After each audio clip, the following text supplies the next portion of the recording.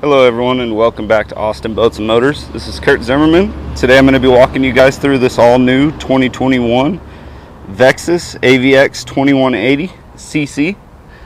So this is a center console aluminum model. It's going to come paired with a Vexus double axle trailer. Some nice flashy black rims and silver on the outside to match the boat. Here in the front of the boat, we've paired it with a Minn Kota Terrova. It's going to be 80 pounds thrust, 24 volts, and it is a Riptide, so it's for the saltwater. Got some integrated uh, fold-up cleats, two on the port and starboard here in the front, and two in the aft of the boat.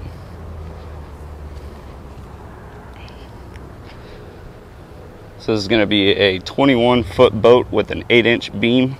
That's what the 20, 2180 stands for. A CC is going to be the center console. And this boat is going to be powered by a Suzuki 175 four stroke. You're going to get a nice boarding ladder here in the back, and this will be your area that you fill up your gas as well. Go ahead and take a step in, show you guys some of the rod lockers and storage compartments in this boat. So you can see here in the aft, you've got a huge casting deck and an area to put your swivel chair. You will have a leaning post here is your live well area. You'll have a leaning post that sits on top of that and articulates in a couple different ways. Uh, this boat was short shipped without that, but if you click on the link in the description, that will take you to Vexus website and you can see what that looks like installed. So your leaning post will sit on top of this live well here. Tons of room in there. If you pull this guy out, that pumps your water in. If you pull that out, it will pump water out the side of the boat. So it's got a flush out as well. It's got the no skid padding right there, so that'll preserve the top of that as well. As you can see next to that, you've got some bucket seating. fold those down. You're going to get the no skid pad all the way through and a huge casting deck here in the aft. Let's see, I believe underneath these, yeah, you do have small storage containers underneath these flip up seats here. And some additional cup holders down below those as well. So here at the center console, this Lowrance screen off. So we've got an Elite FS 9 inch screen. All your basic gauges, miles per hour, water pressure, fuel, RPMs, and trim. All your basic toggle switches for your lights, horn, nav lights, and your live well pump. And then you've got some USBs and a 12 volt uh, car charger as well. Under here you'll see you have a empty recirc and an auto. That's going to be for your live well. So if you leave that on empty, you get up on plane with a boat, it's going to empty all the water out in your live well.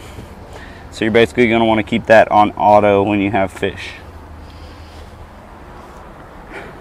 They also short ship this boat. Uh, you're going to have a grab rail that goes up and over the windshield here. If you click on that link in the description, then you'll be able to see what that looks like as well. Additional rod holders all down the side on either side of the center console. And then on this side you're going to have your main power switch. So green being on red in the off position and then right below that you have an area to connect a cord to trickle charge your batteries.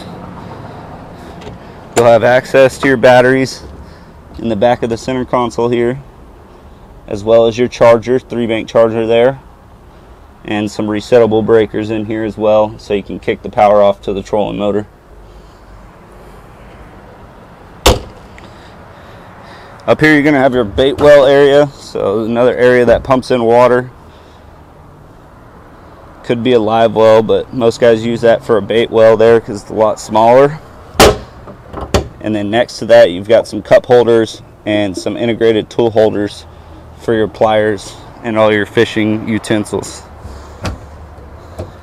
Here on your port side, you can hold five rods in this rod box here, as well as some tackle. And then over on your starboard side, you're gonna have five areas for poles as well. I like to keep your anchor light in there.